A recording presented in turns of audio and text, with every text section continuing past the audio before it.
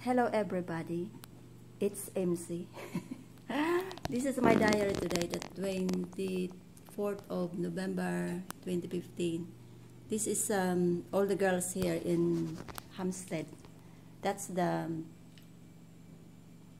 head, head of the house.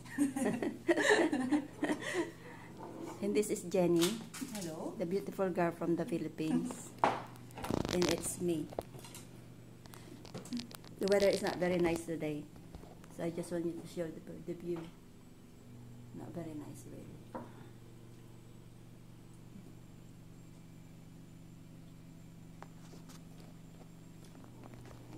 So today I'm gonna be working day shift until 8 o'clock tonight.